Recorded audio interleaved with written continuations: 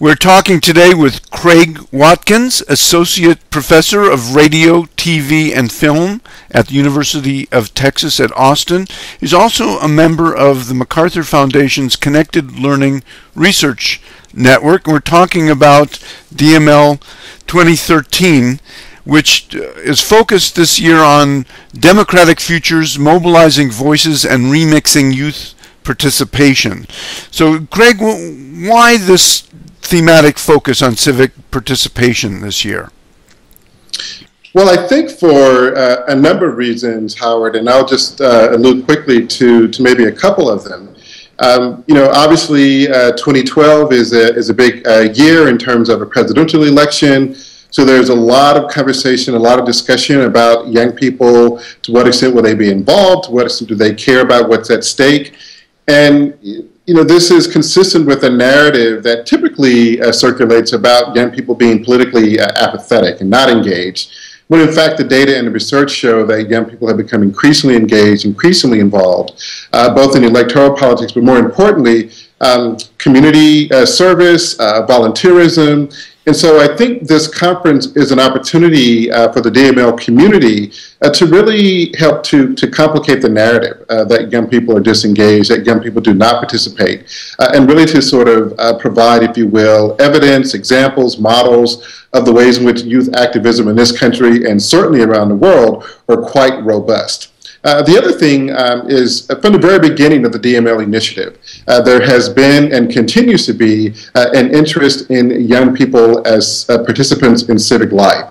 And so, even as we hear so much about technology today and digital media and learning and innovation, so much of that conversation tends to pivot around or, or focus on issues related to the economy, to jobs, equipping uh, young people with the with the skills to be productive citizens in this kind of ever evolving economic world. And while we certainly understand the importance of those uh, those elements, we also understand that there are other things that are equally important, and that is the ways in which young people develop their civic identities, the kinds of civic communities and practices that they're connected to and participate in. And so DML from the very beginning has understood understood that young people's civic lives and their civic selves are worth investing in, worth developing, worth supporting. And we want to bring together a community that understands that, recognizes that, uh, and offers some insights and examples and models of how we can continue to build uh, democratic futures.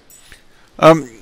how are local and global initiatives challenging the civic opportunity gap by investing in in opportunities that, that, that remake uh, participation uh, in civic and public life? Um,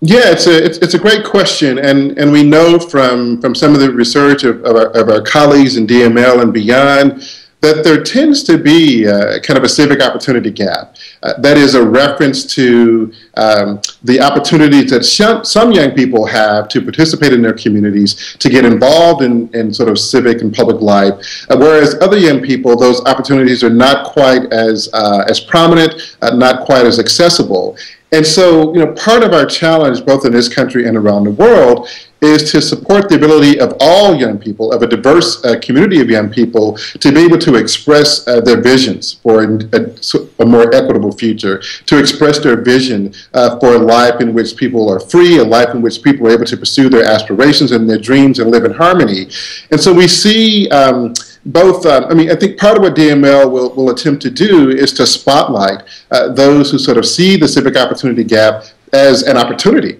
uh, to, in fact, engage young people who typically have been marginalized from the political processes, from volunteering and participating in their communities. And so, in that regard, uh, we know that there are people out there, there are forces out there, there are organizations out there that are really charting a new path for all kinds of young people, bringing young people into the political conversation, bringing young people into the political mix, if you will, and enabling them through popular culture, enabling them through music, enabling them through a variety of entry points to, again, identify uh, the issues that challenge their communities, but also beginning to develop the skills, uh, the repertoire, uh, and the ability to be change agents in their communities. And so, in this sense, we're looking to see um, you know young people from all over the world, certainly young people from this country, uh, visible at DML 2013, and really sort of articulating and sharing, if you will, their stories about how they are engaging in civic life, and in some ways challenging this notion of the civic opportunity gap.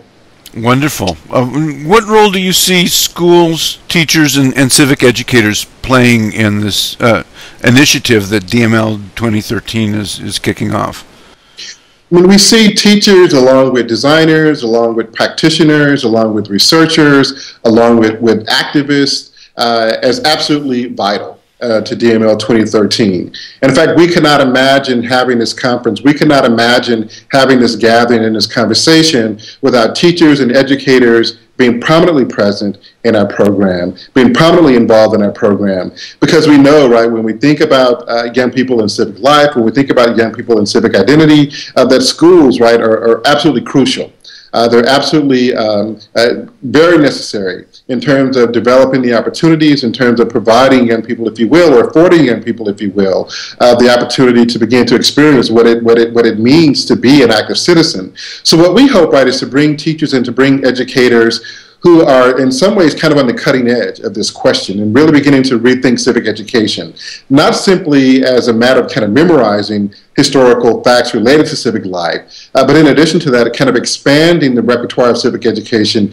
to include participation, expanding the repertoire of civic education uh, to empower young people to sort of use the resources of the schools and, their, and of their communities and of their peers to really be change agents and to see what that feels like. So we think schools are, are not only places where kids should learn about civic education through books, through facts, and through memorization, but they should also, schools should be a laboratory. Therefore, kids should learn by doing Kids should learn by experiencing in more authentic ways what it means to be a citizen, what it means to be civically engaged. And so we hope uh, that we will be able to bring teachers, bring educators, uh, administrators who share this vision, uh, who share this idea, this notion of democratic futures, and the absolute critical role uh, that schools will play in creating a new sustainable, democratic, and equitable futures. Wonderful. Thank, thank you, Craig, for a positive vision uh, for what ought to be an exciting conversation.